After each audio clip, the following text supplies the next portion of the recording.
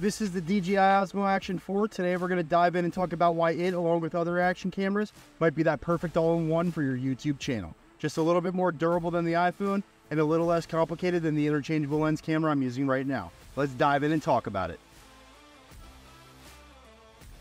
Now that we're filming on the Osmo Action 4, I wanted to start this off by saying it has nothing to do with quality and everything to do with conveniency. If I wanted higher quality, I'd switch back to the APS-C you just saw, which does 4K and a higher bit rate with bigger pixels that let in more light and an interchangeable lens system that allows me to get that blurry bokeh in the background.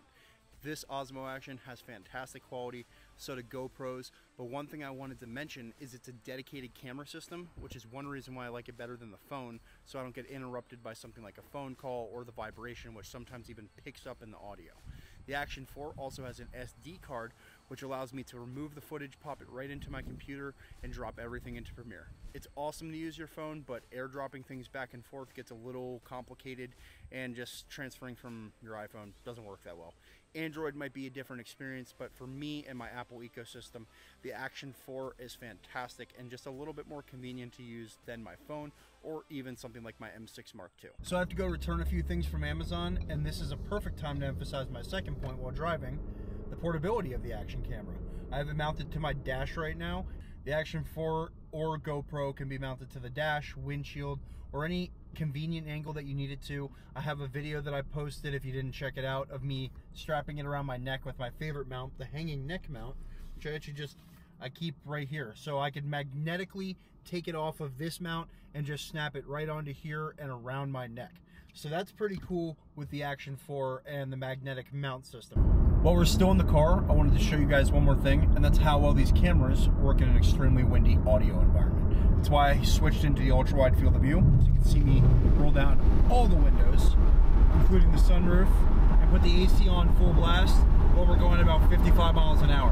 When I was in Iceland last year, my Insta360 Go2 saved my butt on the side of the volcano.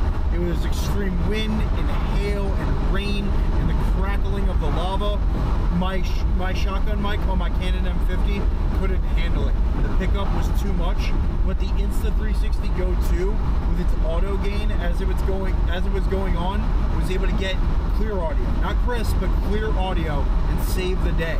So how does this DJI Osmo Action 4 sound in an extremely windy environment? Because I think it sounds pretty fantastic if you ask me.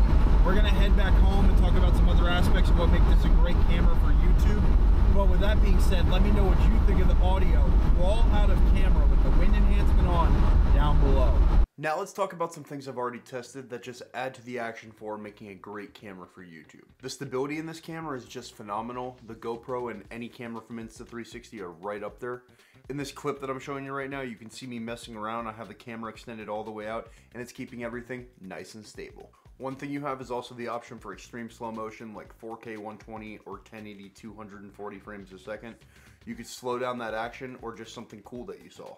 Cool thing about action cameras, you don't have to worry about them in the weather. You can use them in any circumstance. They are dustproof, shockproof, crushproof, and waterproof down to 60 feet in some cases. If you combine everything we've talked about in this video, I would say the DJI Osmo Action 4 is a solid choice as a small dedicated camera for YouTube. It can get that action when you need it, or if you want to take the time and set it up, check this out. You can even use the Action 4 as a studio camera when lit correctly. Let me know down below, would you guys use an action camera as your only camera for YouTube?